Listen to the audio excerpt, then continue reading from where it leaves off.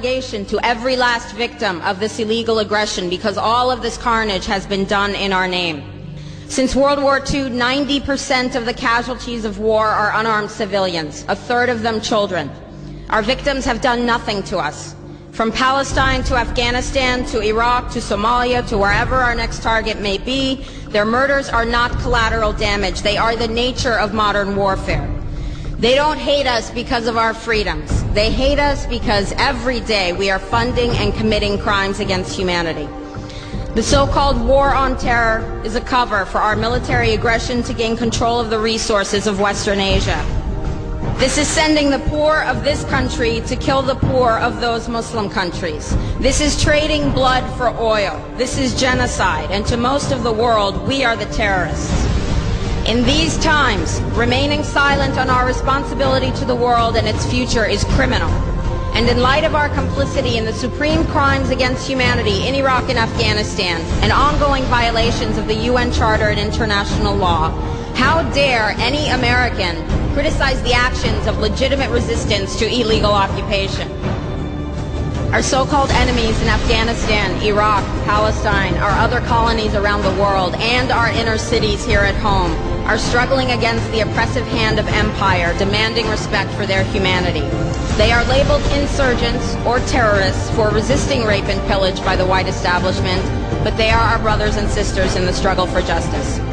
The civilians at the other end of our weapons don't have a choice, but American soldiers have choices. And while there may have been some doubt five years ago, today we know the truth. Our soldiers don't sacrifice for duty, honor, country. They sacrifice for Kellogg Brown and Root. They don't fight for America, they fight for their lives and their buddies beside them because we put them in a war zone. They're not defending our freedoms. They're laying the foundation for 14 permanent military bases to defend the freedoms of ExxonMobil and British Petroleum. They're not establishing democracy, they're establishing the basis for an economic occupation to continue after the military occupation has ended. Iraqi society today, thanks to American help, is defined by house raids, death squads, checkpoints, detentions, curfews, blood in the streets, and constant violence.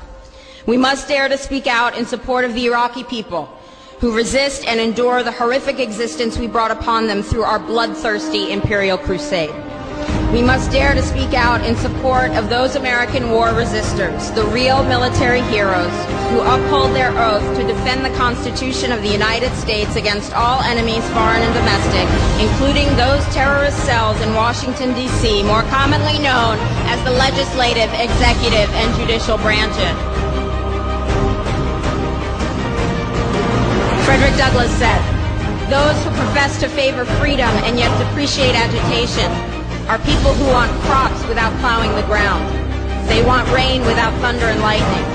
They want the ocean without the roar of its many waters. The struggle may be a moral one, or it may be a physical one, or it may be both, but it must be a struggle. Power concedes nothing without a demand. It never has, and it never will. Every one of us, demanding, keep fighting, keep thundering, keep plowing, keep speaking, keep struggling until justice is served. No justice, no peace. No justice, no peace.